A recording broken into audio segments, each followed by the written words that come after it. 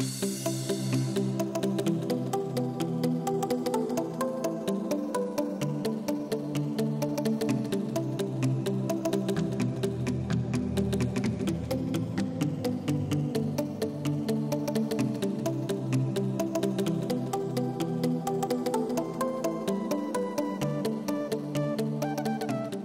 Hey ladies, welcome back to my channel. So today's video is going to be a makeup tutorial on the look I'm wearing right now.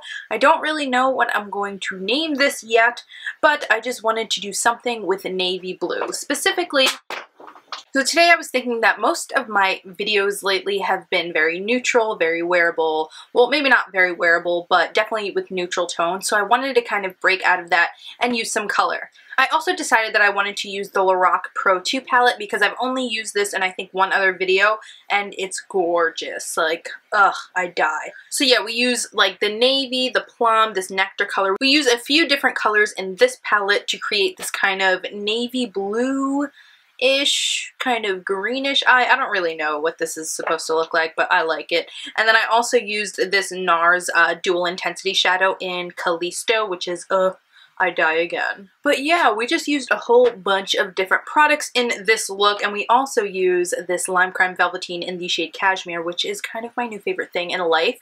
So yeah, kind of using a lot of different products that I don't normally use in my videos. So that's kind of exciting because it's kind of boring to see the same thing all the time. P.S. Don't mind my hair. In the video when I'm doing my makeup, it was like crazy, frizzy, curly before because it was like before I did my hair. But yeah, I won't ramble on too much longer. I hope you guys enjoy the video. Please give it a thumbs up if you do. Subscribe to my channel if you're not already. I love you so much. Thanks for watching and I'll see you in my next one. Bye guys. Hey ladies, so we're going to start off with our brows already on and our lids already primed. I use my MAC Pro Longwear Concealer to prime them. And then we're going to jump into the Lorac Pro 2 palette. I'm first going to take this shade called Nectar on an E40 brush from Sigma and buff that all into the crease as our transition color. We are using like more colorful shadows in this look, but we still want something that they can blend nicely into and have a nice soft gradient to the brow bone. So we're going to blend this from inner corner to outer corner all throughout that upper crease area and make it as blown out as possible.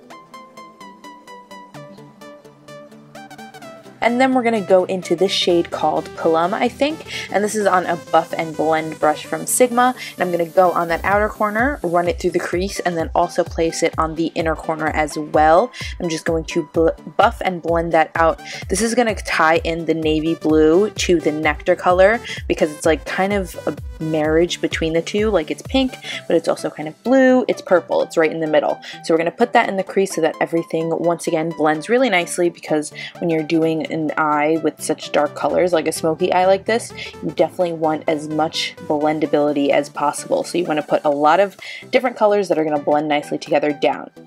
Now I'm going to take that navy shade on an E55 shading brush and we're just going to pack that all over the lid. I was going to put a base down first, like a black base, but as you can see the shadow is really, really nicely pigmented so I didn't even need it. I just went in and patted it on rather than swipe it so that we got the pigmentation as intense as possible. And you can go in with as many layers as you want just so that it's the intensity you would like.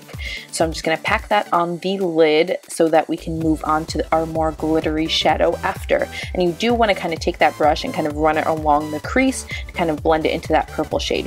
We will use another brush later on to blend it a little bit better, but do take that brush in the crease just a little bit to kind of blend them to begin with.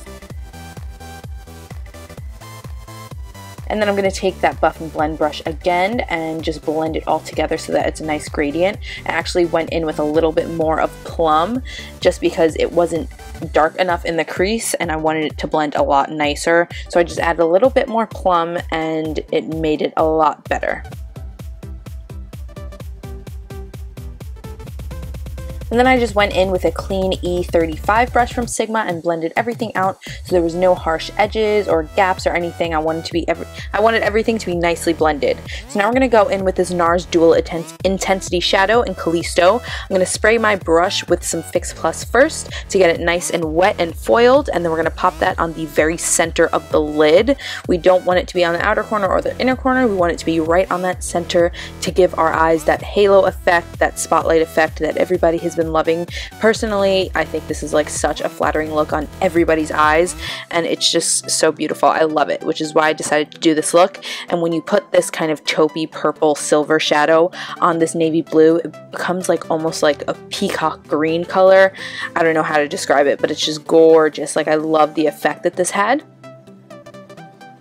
And then I went back in with that E55 shader brush and just touched up that navy on the inner and outer corner so that it was nice and blended and also a little bit more intense. Now I'm mixing buff and snow together for my highlight shade because I wanted it to be like a satin finish. So I mixed a shimmer and a matte and I got that nice highlight under my brow. And I'm just putting this on with a small smudger brush.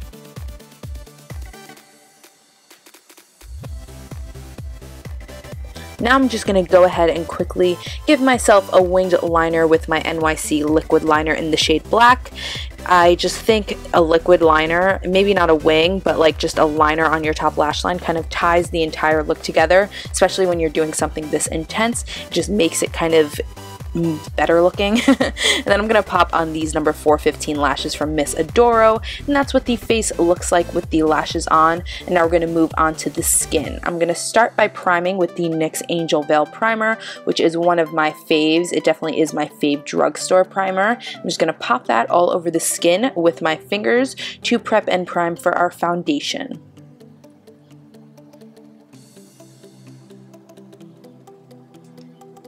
And the foundation we're going to use is actually a mixture of the Kat Von D Lock It Tattoo Foundation and the Rimmel Wake Me Up Foundation.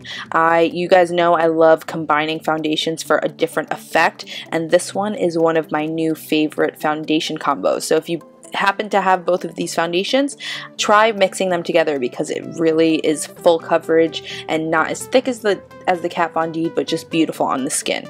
Then I'm going to go ahead and highlight and con well highlight and conceal with my L'Oreal Visible Lift Blur Concealer. This is one of my favorites from the drugstore. I think it's very underrated. Nobody ever talks about it, but except for me, and I love it. I definitely recommend it to you guys. So I'm going to go under the eyes, around the mouth, down the center of the face, all the all the usual places that we like to highlight. And then I'm going to go in with my damp beauty blender and just blend all of that out so it melts into the skin and it's just blended out nicely.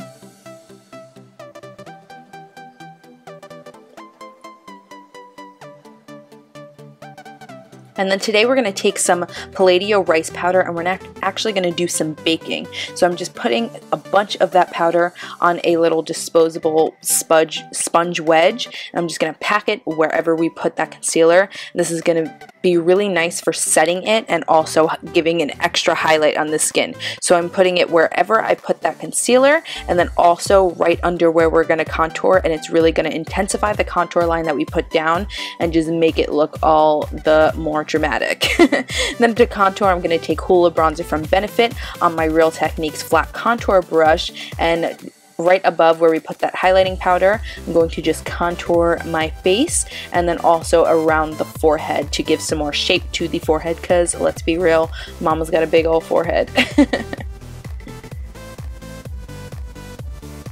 And now that that is on, I'm going to take my Real Technique setting brush and just brush off all of this extra powder and you, you'll be so surprised. It doesn't look cakey at all. It's just nice and set and beautiful and highlighted and amazing. I definitely recommend you guys trying out this technique. Now for blush, I'm going to take NYX Bittersweet Blush, which is one of my all-time favorite blushes. And I'm going to pop that on the cheeks. It's just a nice natural flush to the cheeks. Doesn't compete with anything else going on on the face and it's just a gorgeous blush. And to highlight, I'm going to take, uh, what is this, NYX Illuminator in Ritualistic. It's a nice white gold highlighter. I ended up not really liking it that much, but I kept it on. But I do recommend using like something a little bit more pink or just a lot less white gold because I didn't really like the effect that it had. But I mean, it looked alright.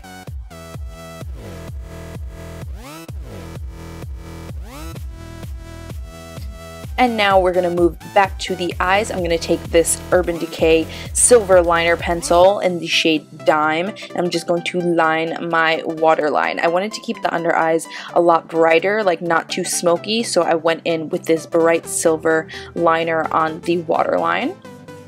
And then I took that Callisto shade again on a small smudger brush and I just popped that right under the eye and blended it into that silver liner and kept the under eyes nice and bright. I also put it on the inner corner because I thought it was just a beautiful highlight. Not your typical inner corner highlight, but I just thought it looked really, really good for this look. And then I took a little bit of that navy shade on this tiny crease brush, like a very tiny bit on the tip of the brush, and just kind of buff that along the edges of this silver color to kind of tie everything together. It really doesn't add that much, but it just kind of ties everything together a little bit better.